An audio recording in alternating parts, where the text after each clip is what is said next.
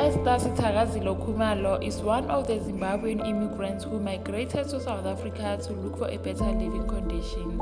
Upon her arrival, she finds solace and redemption in doing people's hair as a way of restoring her dignity and identity. Let's hear her story.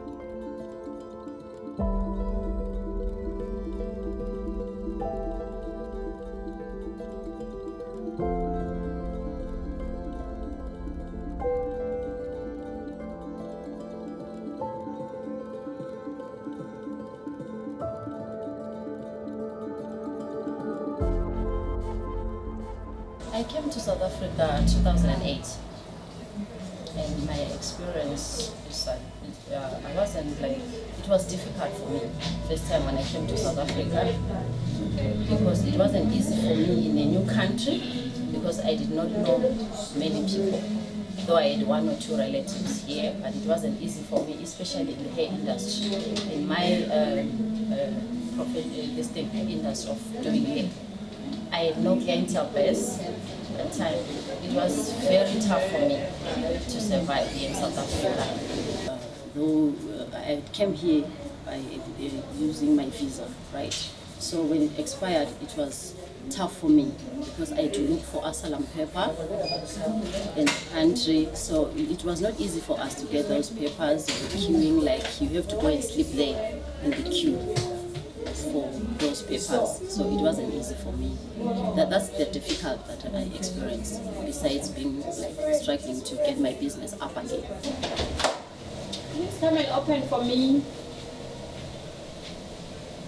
Alex. Vulela.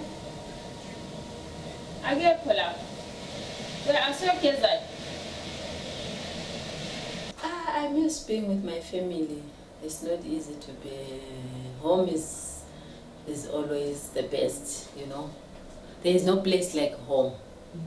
I always miss to be to sit down with my family, be around my family. Yeah, all those things, or my family to help me with other things, especially with kids.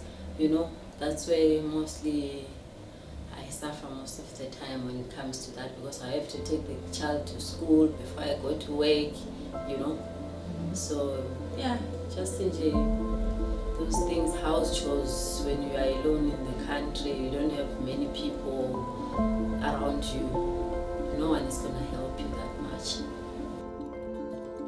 My name is Esther Sithakazile Khumalo. I am from Zimbabwe and I have three kids, uh, raising three kids here in South Africa.